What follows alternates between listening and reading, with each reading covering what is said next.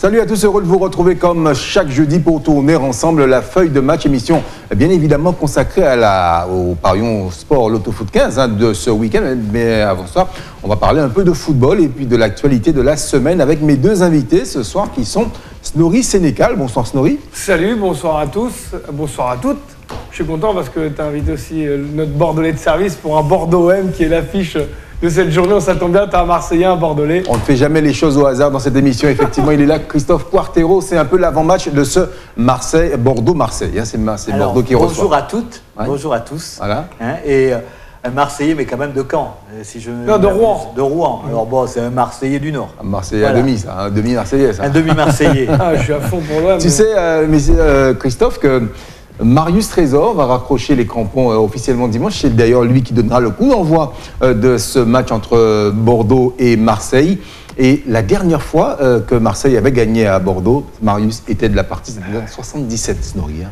Et ben, tu vas voir que justement, vu qu'il va arrêter, c'est là où. Marseille va de nouveau gagner. Parce que le pouvoir, euh, les super pouvoirs de Marius. euh, Sauf que Marius, il a arrêté de jouer au football. hein, et ça fait un petit moment Oui, qu'il plus avec oui, mais première. Laura, oui, mais Christophe, Laura, Laura du bouc fait que Non, tu mais vois. écoute, je me souviens bien puisque j'y étais au match en 77. Ah ouais tu vois. Ah ouais. J'avais 10 ans et j'y étais. Et donc, euh, je me souviens bien de, de Marius Trésor que j'avais vu quelques années avant, d'ailleurs, pour mon, qui jouait pour Marseille. Exactement, qui jouait à Marseille. Les amis, euh, euh, émission, on l'a dit, hein, consacrée au Parion Sport Lotto Foot 15. D'ailleurs, la, la grille numéro 15 vous sera proposée en deuxième partie d'émission. Elle vaut 500 000 Alors faites-nous l'amitié de rester confortablement assis dans vos fauteuils. Et juste après ça, on va parler de l'actu foot. L'actu foot avec euh, la Coupe de France qui, euh, a fait euh, quelques belles victimes bah, hier et avant-hier, avec Lille qui est tombé. Euh, et puis également euh, Montpellier qui tombe face, à Belfort. Belfort, vieille connaissance du football guadeloupéen, puisque Belfort est venu ici même chercher sa qualification euh, pour le neuvième tour de la Coupe de France, puisque les Belfortins avaient battu, souvenez-vous, la jeunesse évolution. Et aujourd'hui, Belfort a battu qui? Montpellier. Montpellier. Match que tu as commenté. Exactement. Si je ne m'abuse, Match que j'ai pour t'avoir commenté. entendu. Voilà, match que j'ai commenté et que j'ai eu le privilège de commenter aux côtés de grand monsieur, monsieur Nathan Luce. Alors, Belfort qui poursuit donc l'aventure en Coupe de France. C'est- extraordinaire. C'est la magie de la Coupe de France. Déjà, et puis en, en plus, euh, ça- à mon avis, l'intérêt en plus, euh, c'est que euh, l'engouement ne va pas s'arrêter. Ils épinglent un à un les plus gros. Et euh, c'est euh, justement ce qui donne un peu sel, euh, euh, tout ce piment à cette compétition, c'est que tu vois pas le plafond en fait. À chaque fois, tu repars de zéro. Et même pour les pros, c'est toujours des matchs compliqués parce que tu sais jamais comment tu vas te faire. euh, Tu repars de zéro, sauf pour les, sauf pour les bouses, les, les, les bouses dauphins, parce que là, ça commence à. Non, oui, non, ça, ça va bien, là. hein. Je, je parle au niveau sportif, au Ah, niveau du match. quoi. C'est vrai que là-dessus, la, la coupe, la Coupe de France, euh, chaque match a vraiment sa vérité. C'est une phrase qu'on entend Oui, souvent, mais c'est vraiment le cas en Coupe de France, plus qu'en championnat, parce qu'il n'y a pas trop de calcul à faire, en fait. Juste se qualifier euh, dans, les, dans les meilleures conditions. Euh, Lille, euh, la sortie de Lille, peut-être que finalement, jouer tous les tableaux, c'est un peu compliqué. Donc, euh, après tout, c'était peut-être pas à fond Ouais, mais bon, Lille.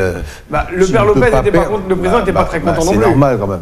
Tu Il- ne perds pas contre Épinal. Vieille connaissance également du football guadeloupéen, puisqu'il y a deux ans, euh, j'ai eu le, le plaisir de commenter ce match Épinal-CSM avec Rudy Zorobabel dans le froid d'Épinal et les Mouliers avaient bien tenu, mais finalement, euh, le retour des vestiaires leur avait été fatal.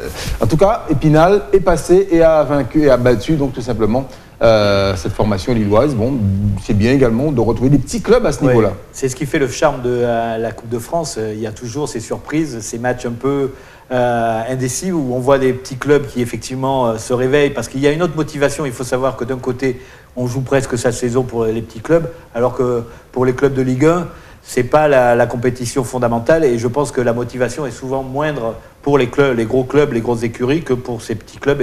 D'où le fait qu'il y a des, souvent des surprises. Alors Pau qui avait été, euh, qui avait battu un petit club de Ligue 1 a été, a- s'est cassé les dents contre un gros club de Ligue 1. ah oui, c'était un tacle bien évidemment euh, glissé euh, à deux pieds en avant vers Christophe Quartero, mais on l'a bien compris hein, euh, qui, que les Palois n'ont pas eu euh, la même réussite que face à Bordeaux, en tout cas que face au Paris Saint-Germain. Bon, une équipe euh, B. Pourtant, hein, une du équipe B du Saint-Germain. Paris Ouais. Saint-Germain. mais bon. Mais par exemple, tu as vu en Angleterre, Jürgen Klopp, après le mauvais match de Liverpool en Cup, a décidé de faire jouer les, les U21 ou les U23 pour le retour. Il n'y aura aucun pro, enfin en tout cas, il n'y aura aucun joueur euh, de plus de 23 ans dans l'effectif. Est-ce que finalement les très très gros clubs de Ligue 1 pourraient pas s'inspirer de ça pour faire encore plus de turnover? Quand on regarde Angers, euh, euh, Rennes qui a été un super match, c'était ça, c'était il n'y a pas trop longtemps, quoi. enfin ouais, il y a avant-hier. Il y avait 3-3. Ouais, euh, ça s'est fini à 4-5, je crois.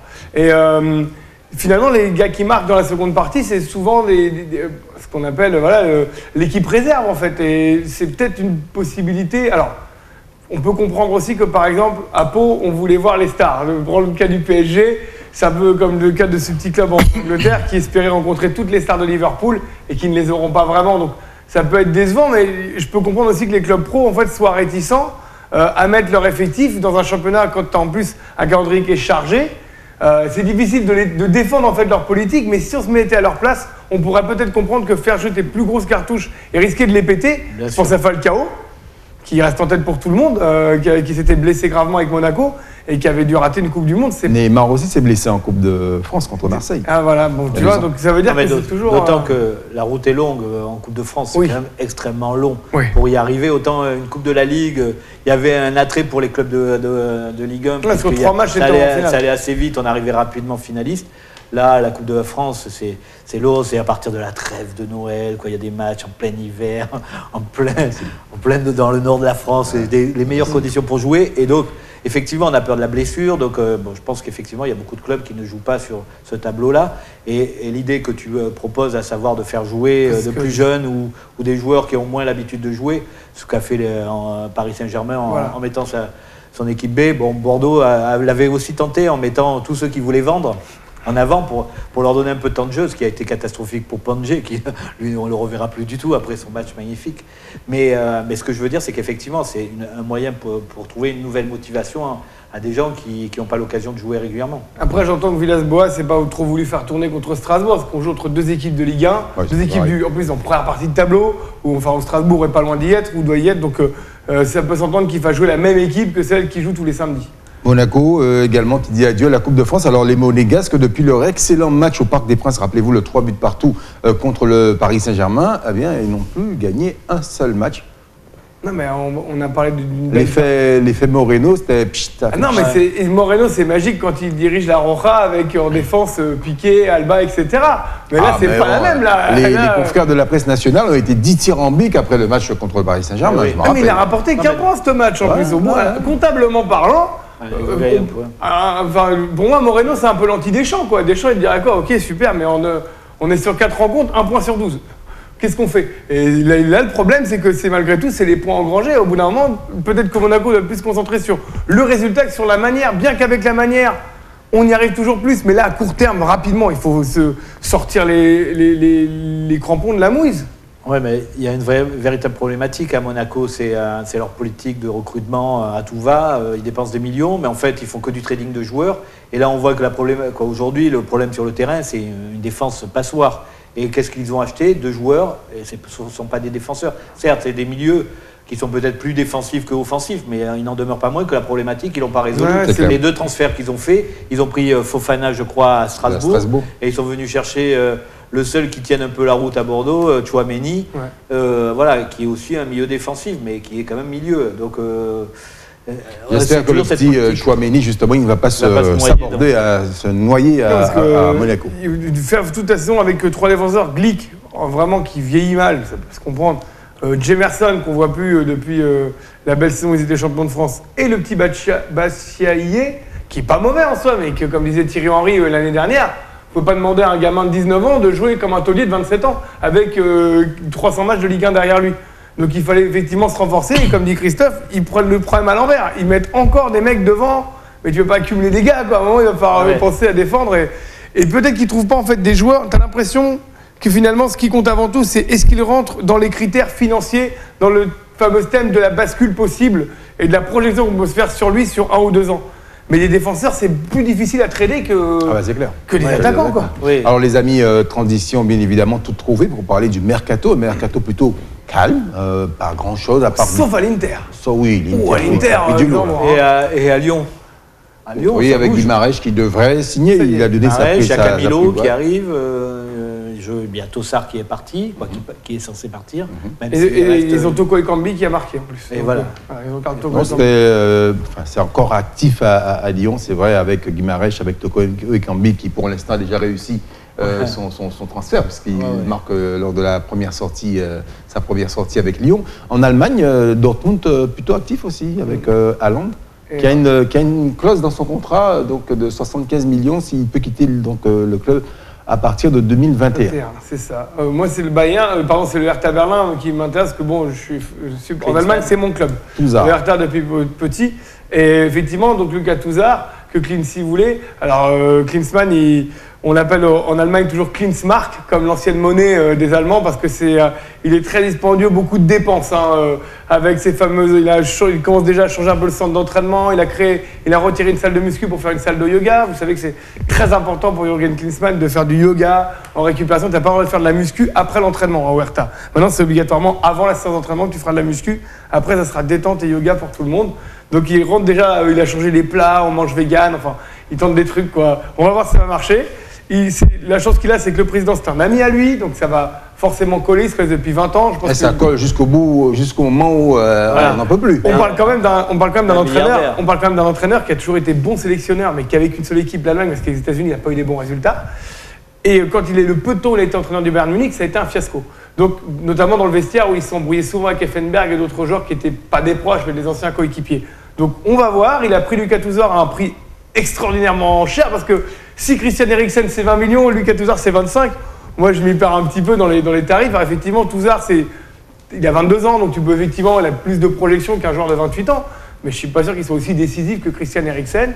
Et Qui, là, a voit signé, qui a signé à l'Inter. l'Inter. Et là, ils sont en train d'essayer de négocier Piatek, de piquer Piatek au nez à la barbe euh, de Chelsea ou de Tottenham, en lui garantissant d'être le titulaire numéro 1 et d'avoir du temps de jeu pour justement faire l'euro avec la Pologne. Piatek qui est en panne euh, à Milan. Donc euh, le Hertha rattaque. Je ne sais pas s'ils le font bien ou dans de bonnes idées, mais au moins ils ont le mérite euh, de, de faire bouger un peu les lignes en Bundesliga. La plus belle recrue parisienne, ce sera Edinson Cavani finalement, parce qu'il reste à Paris. Oui, a priori, il reste. Quoi, il a toujours l'espoir de quitter. Non, parce qu'on c'est- attend. c'est- Ah, officiel aujourd'hui parce qu'on attendait encore une dernière offre. non, de- ils ne feront pas. Ah bon, ils le feront pas, d'accord, parce que j'avais entendu parler de 18 millions Ouais, la mais ils dernière font offre. pas. Ils font pas parce qu'ils attendaient quand même de vendre euh, euh, Thomas Lemar et il n'y a pas d'offre, euh, en tout cas intéressante pour le club, euh, l'école Fénéros. C'est normal, euh, il pour, est pas euh, bon Thomas Lemar. Cette, cette année, c'est encore plus criant. C'est le, dans le 11 de départ de l'Atletico, c'est lui qui récolte les moins bonnes notes. Si Depuis Rocco le n'a pas fait une offre, Moi, je, moi je, dis que le, je dis que Thomas Lemar, c'est à mon avis trompé en allant là-bas. Parce que Mm. vu le volume de jeu qu'il a, vu son style de jeu, vu sa technique, Peut-être pas. bon, c'était pas. euh, Quand tu sais que Liverpool te voulait.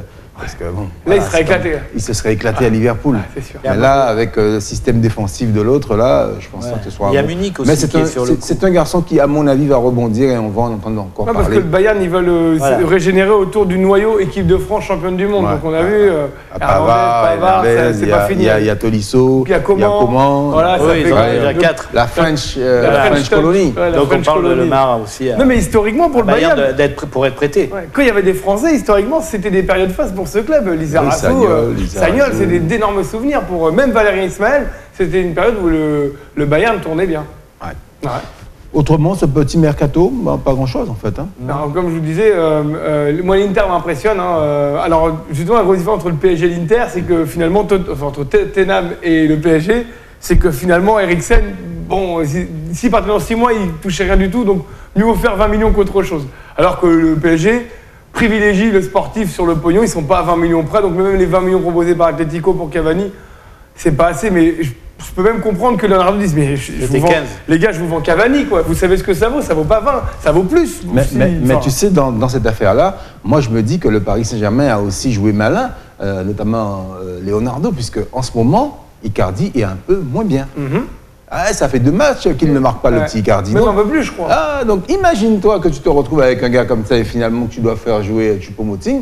Tu te dis, euh, est-ce que c'est je pas mieux de Cavani. relancer Cavani euh, Choupo-Moting contre Pau, nickel. Choupo-Moting après Ah, contre Dortmund, je sais pas. Il a quand même rendu de bons services au club. On Oui, oui, non, c'est pas un mauvais. Enfin, c'est c'est un bon jeu. Je pense que si. un poncif de nos amis de la presse nationale qui disait que euh, Cavani, on peut, on peut le laisser partir puisqu'il a rendu de bons services au club.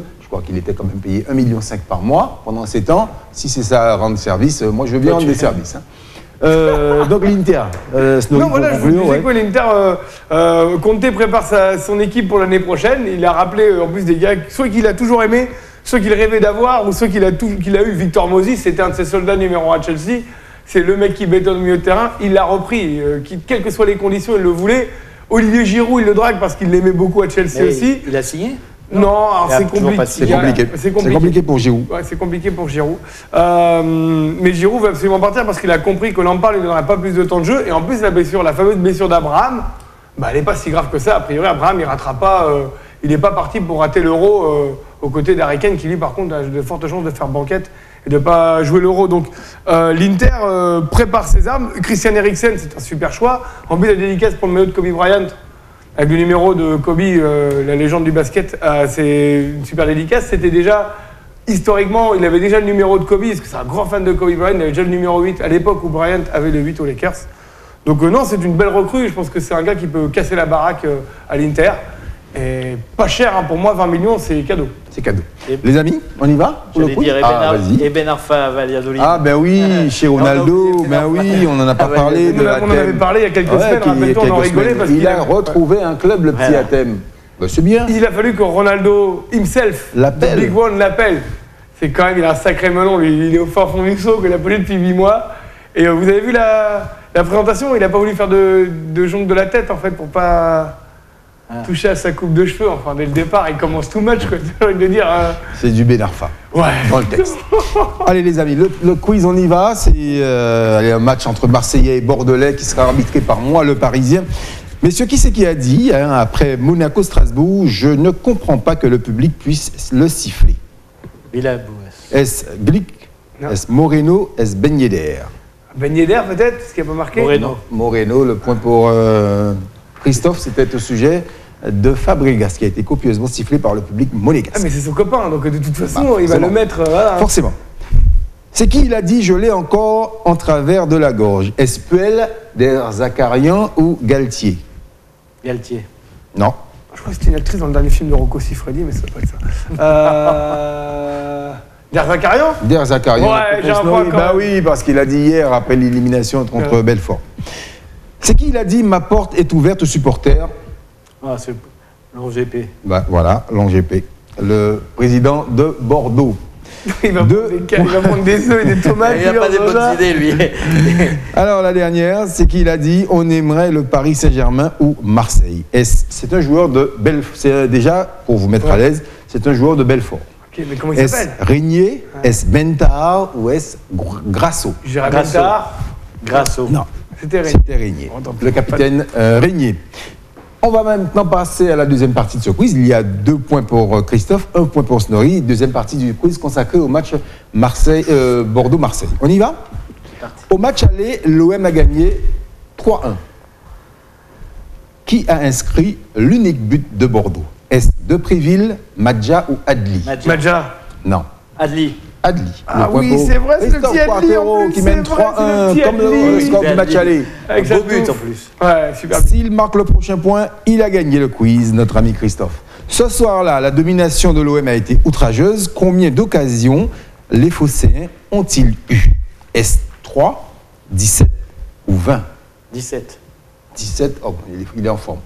Il est en forme, 17 occasions pour l'Olympique de Marseille contre 3 occasions pour Bordeaux. Yes. Euh, donc euh, voilà, il est Marseillais donc, qui avait tu- 25 Tu noteras tirs. que notre ratio de but est meilleur parce que 3 occasions, 1 but, C'est et eux, clair. 17, 3 buts juste. C'est clair, c'est clair.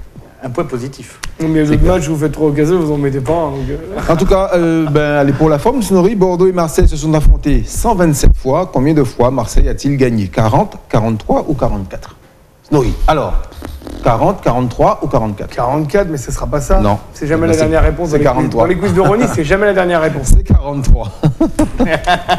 et puis quel joueur, quel joueur dis, alors ça ça, Snorri, ça tu vas me le trouver. Non, non, non, c'est bon. Tu vas me le trouver. Laisse- Laisse-moi avec ma cuillère de bois, d'ailleurs, je n'irai qu'avec la prochaine fois. Quel joueur guadeloupéen n'a pas joué dans les deux clubs, Snorri Est-ce Marius Trésor, Michael Siani ou David Sommeil? Siani. Non, sommeil. Alors Snorri, Bah, j'essaie de voir les gars avec des maillots sur eux. Alors, euh... Marius Trésor, Marius Trésor, c'est sûr il y en a joué à Bordeaux. Et à- et- David et Sommeil.